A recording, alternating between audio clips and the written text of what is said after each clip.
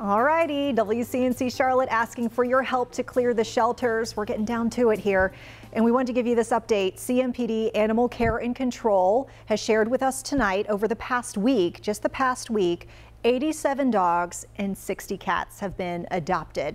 Now, if you're not quite ready to adopt, but you still want to help out, you can still help make some space in the shelter. And WCNC Charlotte's Chloe Leshner explains what else you can do.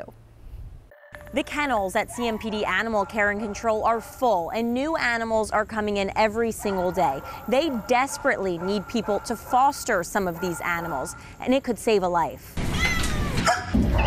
Cats and dogs all waiting to be brought to their forever homes.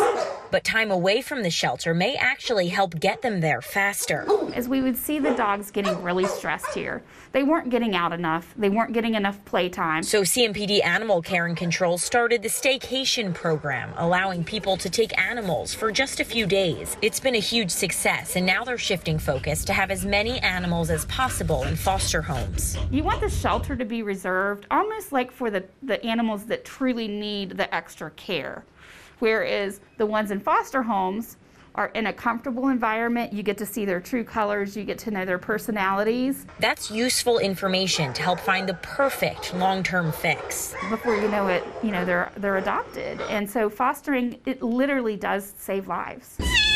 Plus, strays and surrenders are constantly coming in. Animal Care and Control needs more volunteer foster families to help create more space in the kennels.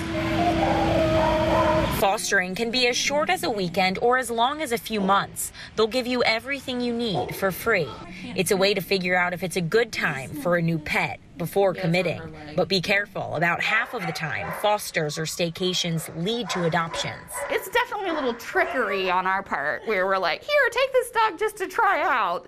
And then they try out, and then, of course, you know, it just it, it, grabs onto their heart and then they're done. They're like, oh, I can't bring it back to the shelter. Clear the Shelters is on September 18th. There are plenty of animals to adopt in the Charlotte area, and we have more information on how you can help on our website and mobile app. In Charlotte, Chloe Leshner, WCNC Charlotte. Yeah, they call those foster fails, but boy, those are the best type of fails to see.